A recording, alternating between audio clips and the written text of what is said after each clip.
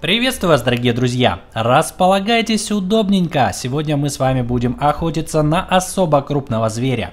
А именно, будет обзор того, где скачать и как установить такую шикарную модификацию на Medieval 2 Total War Kingdoms. Сейчас должны быть ваши аплодисменты и поставьте обязательно после этого лайк. Речь пойдет о булатной стали версии 2.0.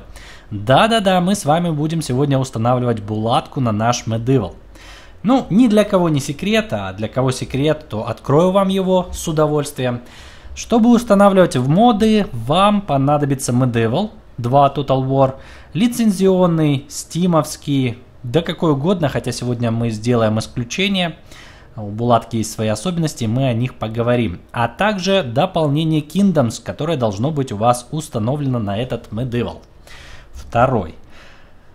И опять же мы пастись с вами будем на сайте, так что открывайте ваши браузеры, повторяйте за мной все то, что делаю я, и получите тот же самый результат. Кстати, немножко рекламы скажу. Э, в прошлом обзоре мы рассматривали, как установить классный графический мод, не только графический, но и геймплейный, Русичи Total War. Хотя, конечно, очень неоднозначные о нем отзывы, но, тем не менее, если хотите попробовать, в описании под видео будет ссылка на этот гайд, поэтому приглашаю.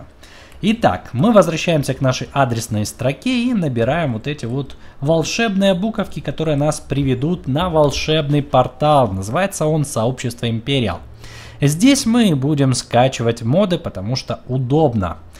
А, ну, логичная последовательность, это я уже много раз говорил. Сначала идут новые игры серии Total War, мы ищем Medieval. Вот он.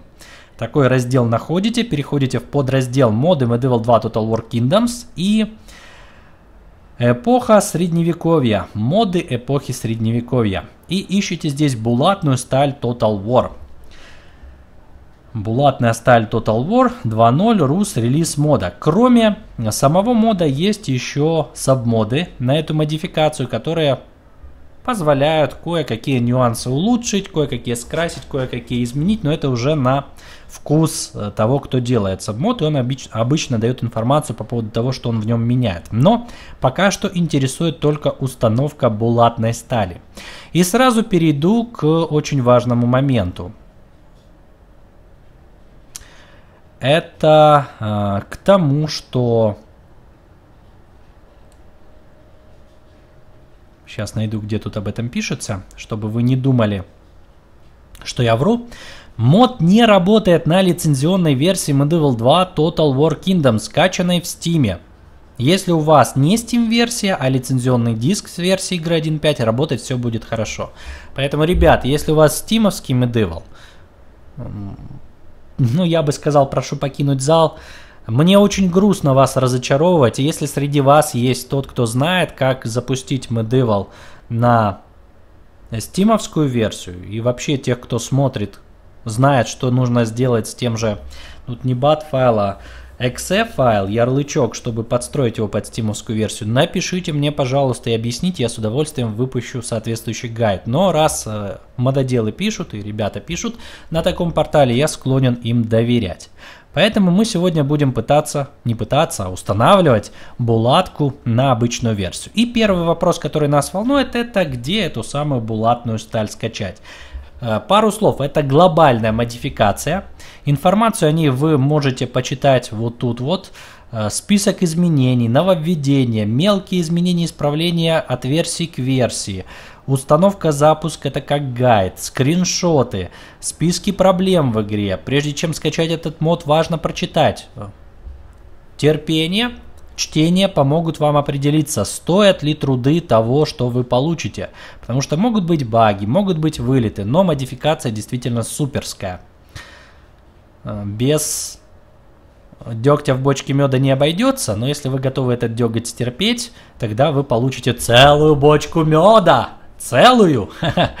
Друзья, читайте комментарии, обязательно тоже, не обязательно, советую прочитать, чтобы вы могли понимать, а, как э, булатку ту же самую настраивать. Я дам несколько советов после того, как мы установим модификацию, но основную информацию вы ищите на подобного рода форумах. Ссылка, кстати, на эту страничку будет в описании под видео, так что туда я тоже предлагаю заглянуть. Итак, Э, скачать у нас есть много способов для тех, э, у кого тяжело с интернетом, для тех, у кого не, к примеру, работает один определенный способ. Вот тут вот есть аж целый пакет этих способов. К примеру, мод «Булатная сталь 2.0» можно скачать отдельно на Яндекс Диске, что я и проделал у себя. Нажимаем на эту ссылку, нас переводит на Яндекс Диск. Очень будет хорошо, если вы зарегистрируете здесь профиль, тогда скачивать будет очень быстро. Нажимаете «Скачать». Э, открывается окошко, я создал на диске D отдельную папку, куда и будет загружаться у меня булатная сталь. Вы можете провернуть ту же самую операцию себя, чтобы потом не искать. И нажимаете сохранить. Но первый раз, когда я пробовал скачать, а это было два дня назад, то скачивалось у меня, откровенно говоря, э, больше суток. То есть, ну, оно мне сообщало, что должно скачаться, но никак не хотело рожать саму скачку. Почему так происходит, я не знаю. Но я попробовал скачать сегодня утром, и на этот раз все изменилось. Никаких суток в ожидании э, мне не предлагалось, ждать не потребовалось. Буквально за полчаса мне быстро с Яндекс Диска все скачало. Помните, регистрация профиля в Яндекс Диске очень ускоряет этот процесс. Нажимаете скачать, нажимаете сохранить, я этого делать не буду, потому что у меня уже скачано, и грузите к себе на компьютер. Если вдруг этот способ вас не устраивает или он не работает и вы не хотите ждать, чтобы пробовать снова, можете попробовать, э, это в основном, конечно, для моих земляков, для тех, кто с Украины, потому что в России XUA заблокирован, можете попробовать э, вот этот вот способ. Переходите сюда, на XUA, и э, здесь нам предлагают скачать и Medieval, кстати, э, второй вместе с этой модификацией. Но те, кто хотят скачать ее просто отдельно, скачайте вот этот вот образ. Загрузить 2.0 ISO.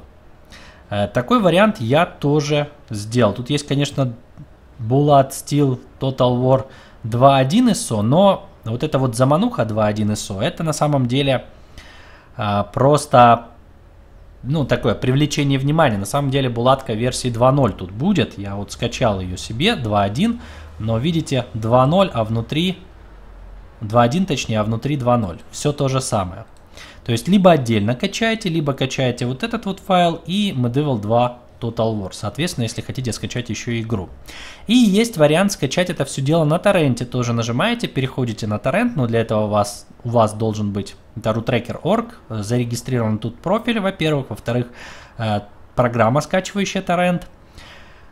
И отдельно читайте э, все вот эти вот инструкции, также прочитайте комментарии, если у вас, у вас вдруг что-то будет не получаться.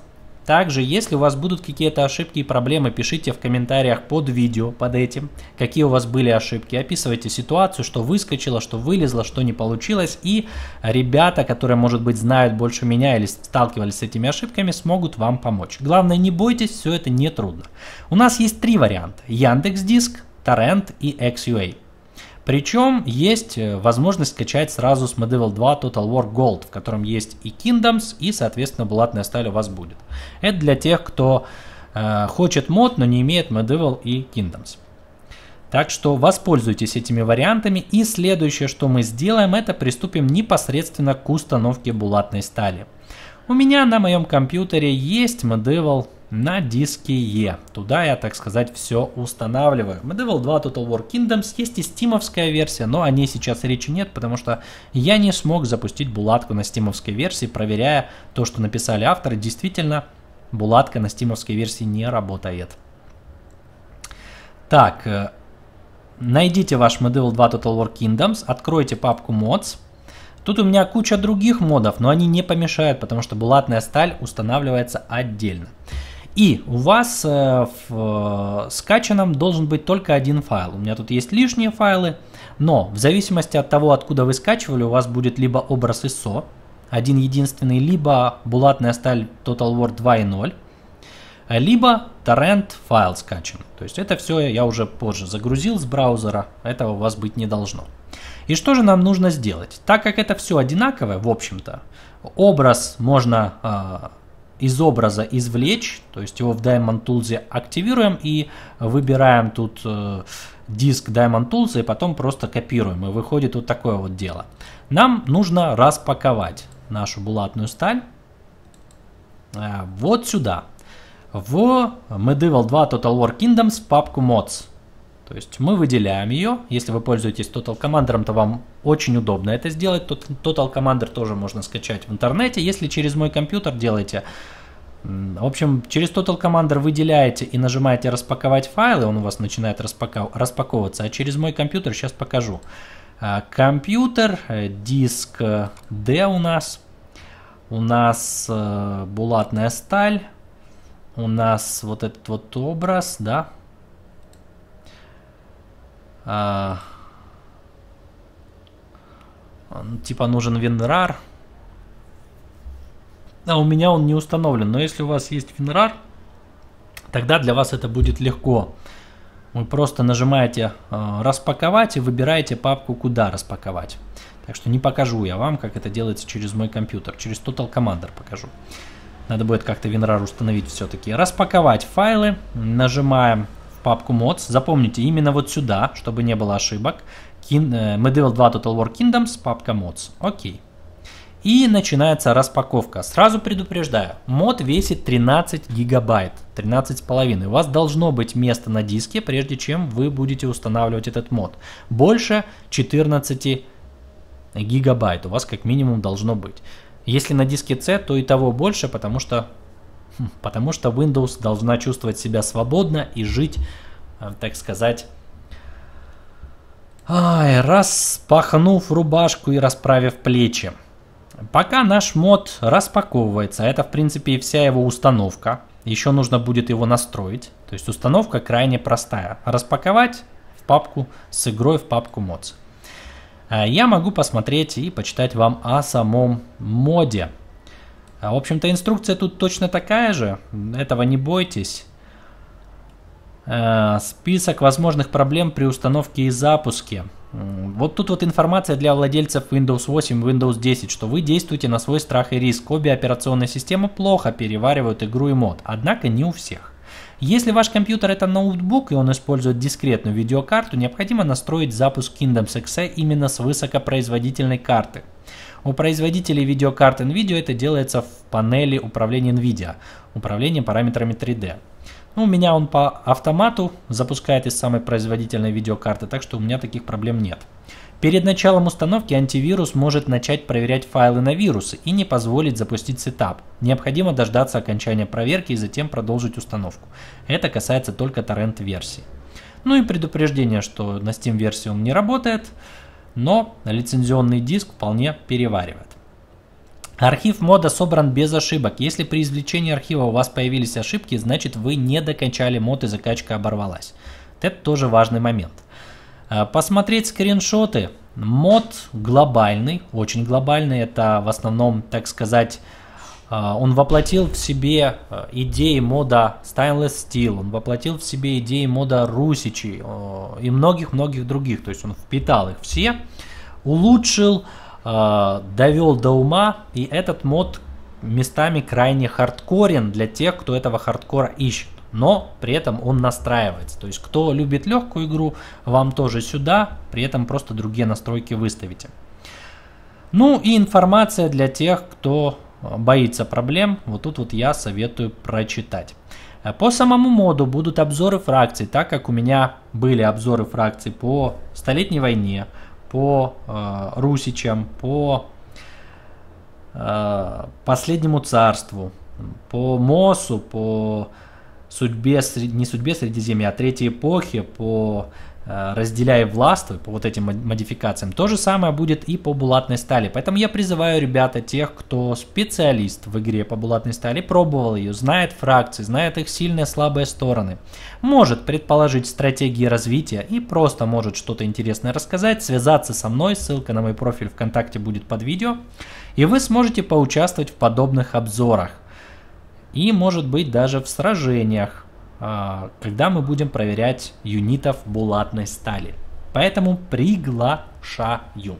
Сразу предвосхищу вопросы тех ребят, которые будут спрашивать, будет ли прохождение булатной стали на моем канале. Пока я ничего вам не обещаю, потому что у меня много других прохождений и стримов, и мне нужно всему этому уделять внимание – Соответственно, сами понимаете. Я могу дать обещание, потом вы будете на меня обижаться, что почему же так долго. Я этого не хочу. И э, есть у меня на канале прохождение, которое, тем не менее, вашего внимания заслуживает. Это прохождение за Гондор, Эриадор и Изенгард в прекрасной модификации «Судьба Средиземья». Э, прохождение Европа Универсалис 4. Как сетевые, так и обычные. За Норвегию вот сейчас идет прохождение на стриме. За Японию, за Хасакаву. За э, Бруней. За Запорожскую сечь и за Португалию. Э, также есть прохождение других игр, на которые я вас сердечно приглашаю посмотреть. Ставьте палец вверх, то есть лайк под видео и подписывайтесь. Не пожалеете, будут выходить еще э, обзоры фракций, гайды по установке модов. И я хочу, чтобы вы этого не пропустили, вдруг какой-то мод западет вам в душу и вы получите неделю или две прекрасной игры и классной компании в Medieval 2 или к примеру, в любой другой игре в серии Total War, потому что гайды на другие игры я тоже буду делать, когда куплю новый компьютер. Э, соответственно, будут гайды и по Европе Универсалис и модификациям на нее. Будут гайды и по пятой цивилизации модификациям на нее, потому что спасибо доброму человеку, я теперь обзавелся еще и лицензией пятой цивилизации, соответственно, у меня э, будет возможность показывать, как на лицензию устанавливать модификации. Да и по многому другому тоже гайды будут. Ладно, я гляжу, что сколько бы я ни говорил, но установка все равно будет длиться дольше, поэтому я пока нажимаю паузу и встретимся с вами, когда установим булатную сталь. Друзья, для вас не прошло и мгновение, для меня прошло достаточно длительное время, поэтому не волнуйтесь, устанавливается ну, долго. 15-20 минут, в зависимости от мощности вашего компьютера, как он может это все дело распаковать и а, позволить себе. Итак, вот э,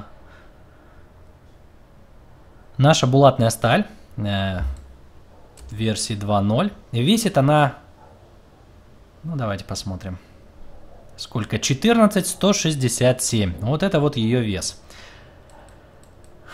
Мой Medieval 2 Total War Kingdoms, на котором установлено множество модификаций, теперь в общей сумме стал весить еще больше. Давайте посмотрим. Мне интересно, сколько он занимает теперь места. У меня на диске E. Считает, не пересчитает каждую папочку, каждый файлик. В общем-то, такой вот процесс установки. Просто распак распаковать в папку с игрой Medieval 2 Total War Kingdoms в папку mods. И считайте, что мод у вас есть. Если скачали правильно, без ошибок э, и без разных проблем, то, в общем-то, работать будет все хорошо. 75 гигабайт. Много. Итак, что я хочу сделать? Я хочу убедить вас в том, что э, мод установился хорошо, поэтому запущу э, Medieval в оконном режиме. Для этого вношу в Preference CFG такие вот строки. Файл сохранить. Сейчас проверим в самой булатке, нужно ли что-то писать. Тут есть Default CFG, это в принципе то же самое. Uh, first video no background, grass, movies true, window true. Да, тут позволяет в оконном режиме запускать файл, но uh, мы обратимся к инструкции и посмотрим, что же она говорит делать после установки. Uh, после того, как мы извлекли это все дело, запустите BS Setup .exe из папки в ваш путь, куда установили Medieval 2 Total War Mods Bulat Steel 2.0 для того, чтобы настроить компанию, музыку и, и скрипты. То есть сейчас будет настройка модификации. Вот эта инструкция, ее не доста достаточно непросто понять, да, потому что э, пропускается момент того, что кроме того, что нам нужно извлечь содержимое, а, это с Medieval, понятно, почему такая инструкция, если вы мод отдельно устанавливаете, то все по-другому. Делайте в точности, как я делаю, и у вас будет рабочая версия.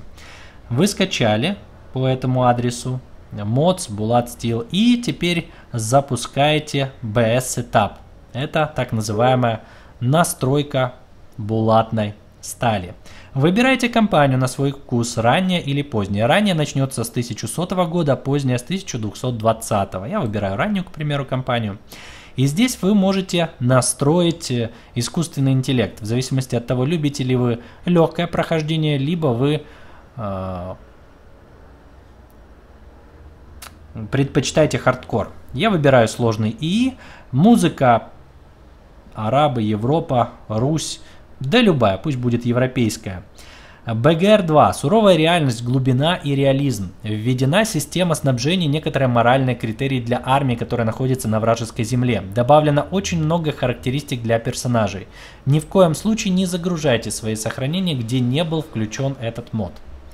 Во избежание багов, вылетов и несоответствий вы можете избежать установки BGR2, если у вас есть предыдущее сохранение. Если вы играете первый раз или новую кампанию, то в общем-то, для челленджа, для вызова я рекомендую установить Big Grim Reality 2. Мне он в стайле стиле очень понравился, поэтому я буду, если что, обзор делать с ним, и я его себе выбираю. Военный скрипт для искусственного интеллекта. Что же он делает? В принципе, тут про все скрипты показывается, так что вы можете почитать и принять э, решение для себя сами. Этот скрипт дает некоторые бонусы в виде опыта, брони и оружия войскам, которые нанимает враг, то есть искусственный интеллект. Ваш враг, союзник, да кто угодно, только не вы.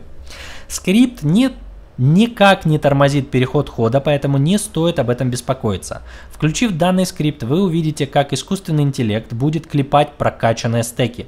В этой версии скриптованных зданий больше не будет.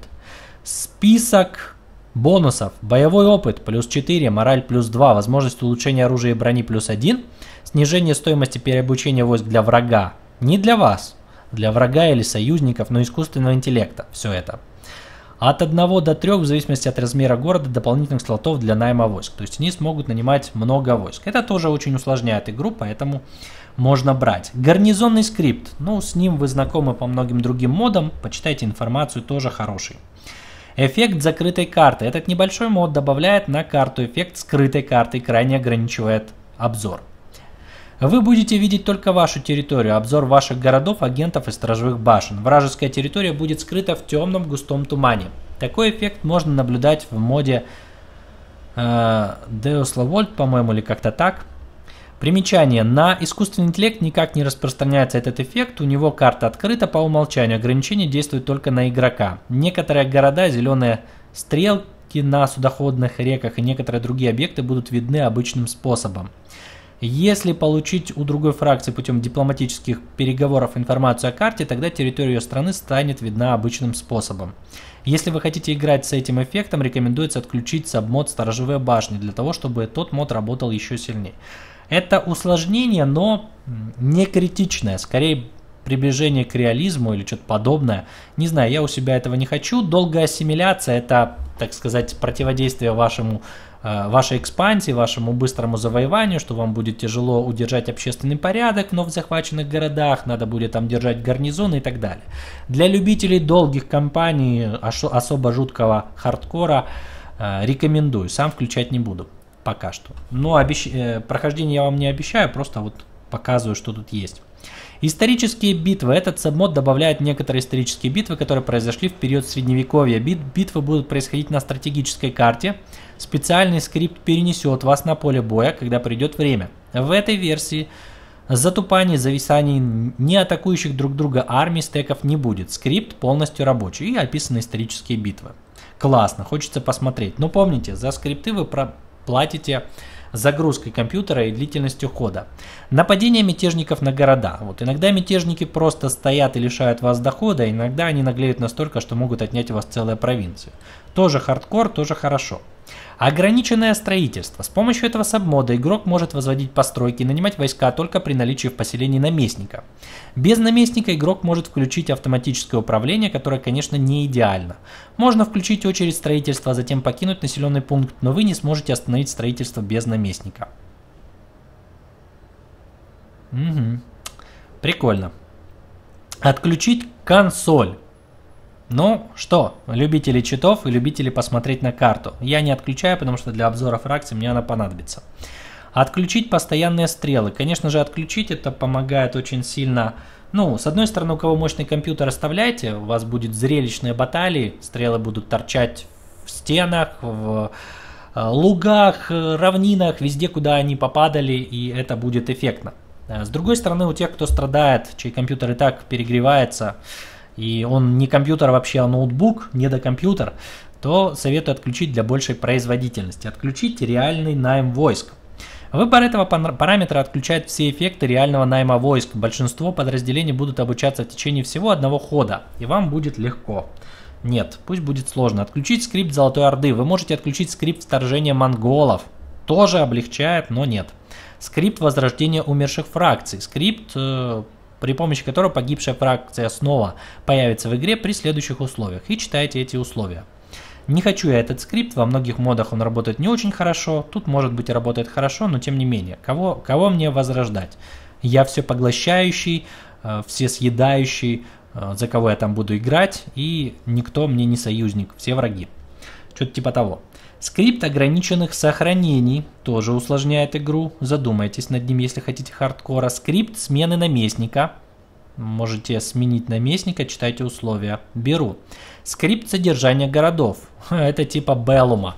Происходит вычитание денег из казны при количестве населенных пунктов более 11 более 11 городов, минус 3000 денег за каждый ход, более 12, минус 4, минус 5 и так до 54 тысяч. Построить большую империю теперь очень сложно. Кому интересно, как этот скрипт действует и к чему это приведет, э, смотрите мое прохождение Беллом Кручес за Францию, где я на сотом ходу не могу содержать больше, чем 24 или 23 провинции из-за именно этого скрипта и этого долбанного штрафа. Но это делает мод крайне интересным, потому что Э, вы не становитесь сверхсильным, вам приходится думать, что делать с захваченными городами. Э, таким образом, приходится торговать ими с союзными фракциями. Э, и союзные фракции могут стать серьезными соперниками из-за этого. То есть вы получаете золото в обмен на усиление союзников. Союзники вас предают, вы начинаете с ними воевать. Опять куча войн. И фракции добить очень сложно. Так что думайте, сложное управление войсками в бою. Материться будете очень много, но это реалистично. Создает более реалистичное командование войсками во время боя. После отданного приказа должно пройти некоторое время, прежде чем можно будет отдавать новый приказ. То есть вы не сможете проводить супер сверх маневры, как бы будет, что вы кричите, вас слышат, и потом передают дальше, дальше, дальше, и все с замедлением будет происходить. Ваши отряды будут из-за этого тупить, вы будете терять войска, и вам будет сложно. Это управление войсками в бою. И сторожевые башни, что там, нам, э, вот если этот эффект есть, то этот эффект надо отключить. Пусть будут сторожевые башни. Все, применить, все это дело применяется. Вот видите, 28 минут установка и настройка заняла. Закрываем. Теперь можно запустить игру. Я уверен, что она запустится в оконном режиме. Так что я ее спокойненько запускаю. Пожалуйста, в оконном режиме. Нет, что ты, гадина, творишь. Слушайте, не хочет запускаться в оконном режиме. Соответственно, сейчас я буду ее закрывать и насильно стараться навязать ей оконный режим.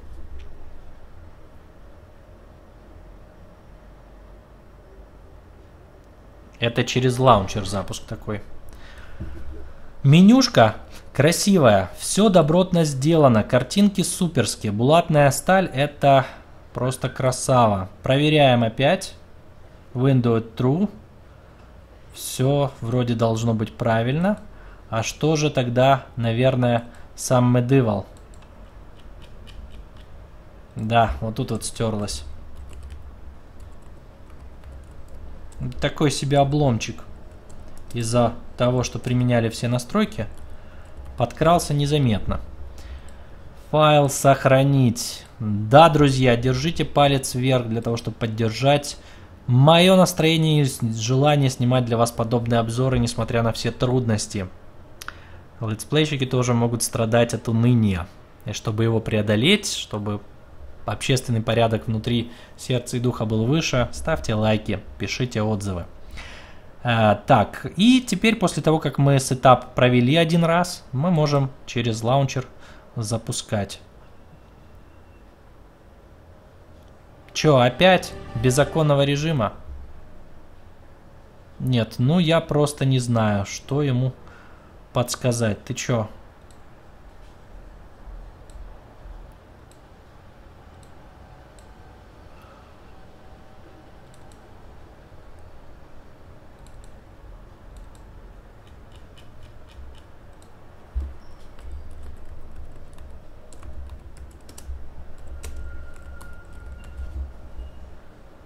Файл. Сохранить. Закрываем.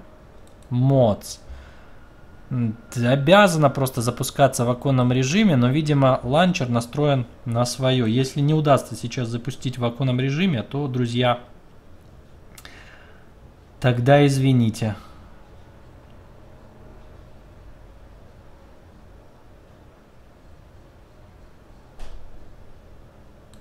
Тогда придется вам поверить на слово. И потом уже в обзорах. Не, вы смотрите, оно просто не хочет запускаться в оконном режиме. Такое вот своевольное. Ну давайте я для себя запущу, вы пока черный экран посмотрите. Один игрок, основная компания, видите, я что-то переключаю. Соответственно, все работает. Да, вот берем, к примеру, за Кастилью. Тут фракций у нас очень много, кстати. Сейчас посчитаю. Раз, два, три, четыре, пять, шесть, семь, восемь, девять, десять, одиннадцать, двенадцать, тринадцать, четырнадцать, пятнадцать, шестнадцать, семнадцать, восемнадцать, девятнадцать, двадцать, двадцать один, двадцать два, двадцать три, двадцать четыре, двадцать пять, двадцать шесть, двадцать семь, двадцать восемь фракций. Обзоров будет, мама не горюй. Долгая кампания, сложность. Да нормальная, мне просто запустить. И нажимаем начало.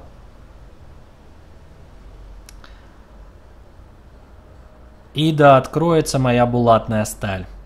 В общем-то, Сложностей в установке никаких не вижу. Единственная сложность это разобраться с настройками и устро... устроить или установить себе такие настройки, с какими вы действительно хотите и вам понравится играть. Если вы хардкорщик, то все сложно. Если вы любитель средней сложности, но при этом многих скриптов, которые вносят интерес, которые дополняют информацией, дополняют происшествиями, как исторические битвы, то выставляете себе такие настройки. Если вы хотите побеждать и не сталкиваться с сопротивлением, но при этом просто хотите а, лицезреть этот качественный, классно сделанный мод, то выставляете себе легкие настройки. Сложность убираете и просто наслаждаетесь. Итак, Булатка 2 нами осилена. Опять же, надеюсь на тех из вас, кто в курсе, как ее можно подогнать под Steam версию, несмотря на все то, что нам пишут. А вдруг можно? Я не оставляю такой надежды. И надеюсь на тех из вас, кто откликнется поучаствовать в обзоре фракций на вторую булатку. Встретимся с вами в следующем обзоре. Э, в описании под видео будет ссылка на страницу Empire Империала мода. Э, вы сможете там скачать мод этот булатную сталь. Если захотите, даже Medieval 2 сможете скачать. И будет ссылка на другие мои прохождения. Я рекомендую ознакомиться с ними, на другие гайды по установке других модов. Столетняя война это вообще мод, за который я кулаки держу. Пробуйте, мне он очень понравился. Еще рекомендую вас, вам Divide and Conquer и MOS. Тоже классные моды. Потом к Средиземью вернусь судьбу Средиземья, буду обозревать и тоже буду вам ее рекомендовать. На этом мы с вами прощаемся, друзья мои. Подписывайтесь, ставьте лайк и встретимся в следующем обзоре.